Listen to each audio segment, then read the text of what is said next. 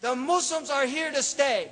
And Pat Buchanan said in a very profound essay, if this government thinks they can wage war on Islam like we waged war on fascism or communism or any other ideology, they have another thing coming because Islam has been here for 1400 years and proved itself indestructible. Islam is indestructible. Islam is indestructible. And that is what Pat Buchanan had to say. A respected Republican. Islam is indestructible. So I want all of you to recognize that this country has great ideals. These ideals are rooted in Islamic ideals. And toleration is an Islamic gift to the West. And this can be historically proven because the first edict of toleration was the Edict of Buda. And it was done under the suzerainty of the Ottoman Empire by a Unitarian Transylvanian prince.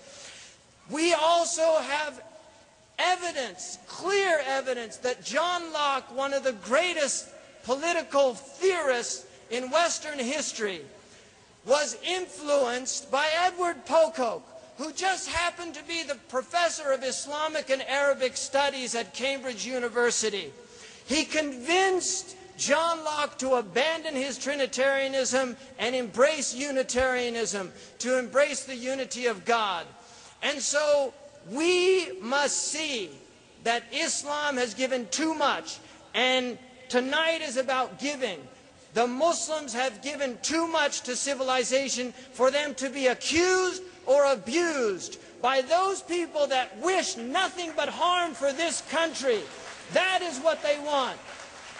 And I will end on this note that I sincerely believe until the Palestinian issue is recognized as the festering sore on the body of this planet, until the United States of America rises up to her responsibility in addressing a grave crime against a people for over 50 years who have been suffering in humiliation, in abject poverty,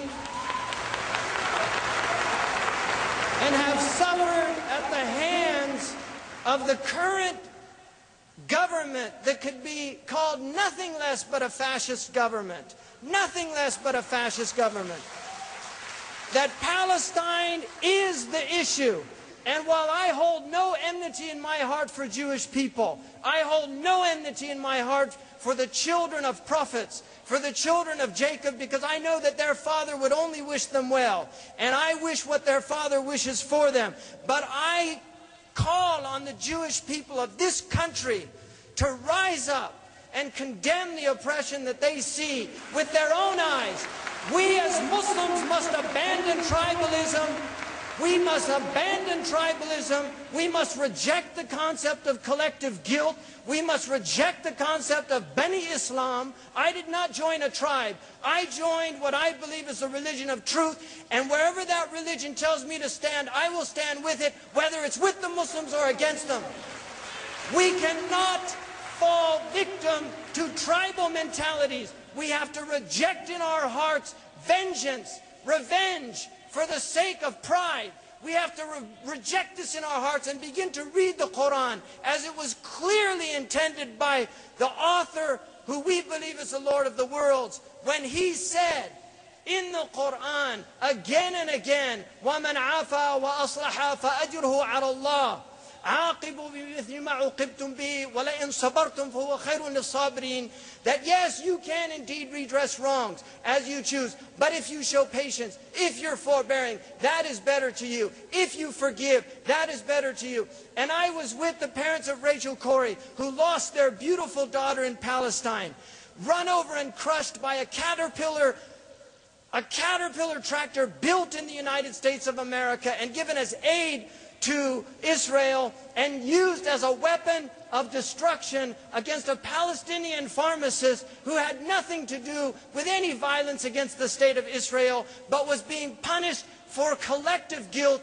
which is a crime against every legal system on this planet. The idea that one holds the sins of another is alien to the Abrahamic tradition. The Quran says, and it's reiterated in the Bible in its Old and New Testament forms, لا تزر وازرة وزر أخرى. No soul bears the burden of another soul. The sins of those Palestinians who are having their trees uprooted, who are having their houses destroyed has nothing to do with anything other than gross injustice, and we reject it.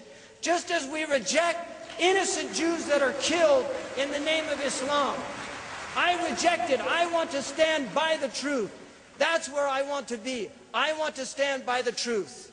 And I want all of you to stand by the truth and look into your hearts.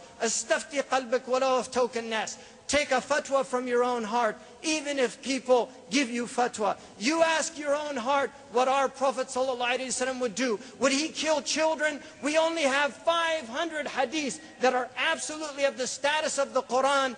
And one of them says, Naha Rasulullah an qatr nisa'i wal awlad. The Prophet of God forbade the killing of women and children. The Prophet of God forbade the killing of women and children. The Prophet of God forbade the killing of women and children.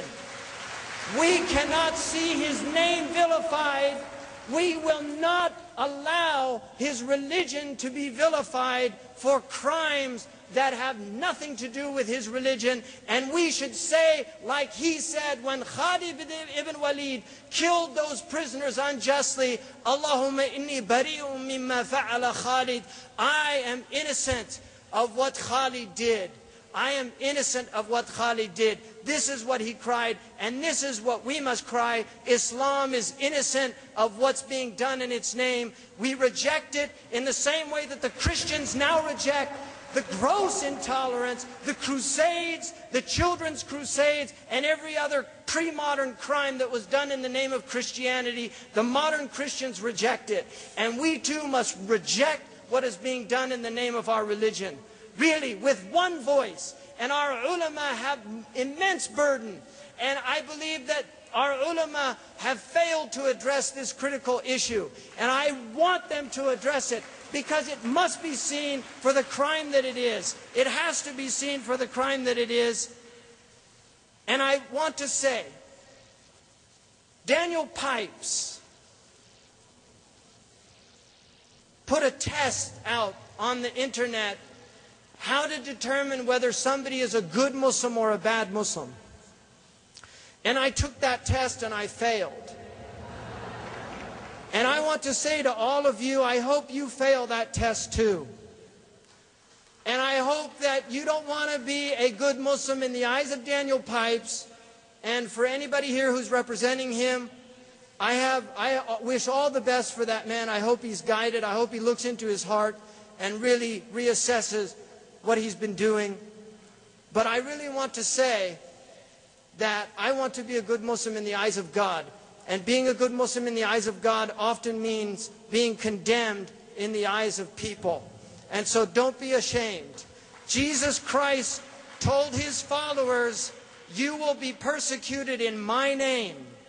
Jesus Christ told his followers, The people of the world will hate you and they will persecute you because people of truth are often hated and despised by people of falsehood. So do not be afraid of being hated and despised.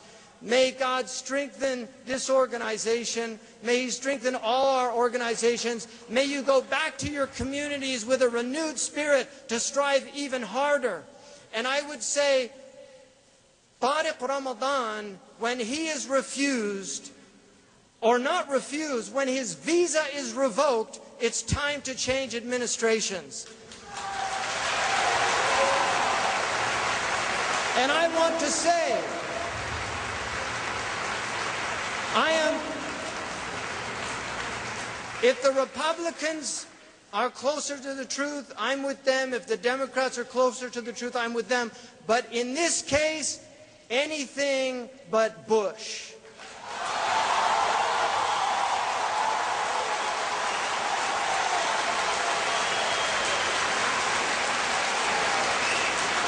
Because this country has to send a message. This country has to send a message to the rest of the world that the last four years were a mistake. Abu Ghraib was a mistake. Abu Ghraib does not represent the good people of the United States. And Abu Ghraib goes right to the top. And just like Truman said, the buck stops here. Salam alaikum.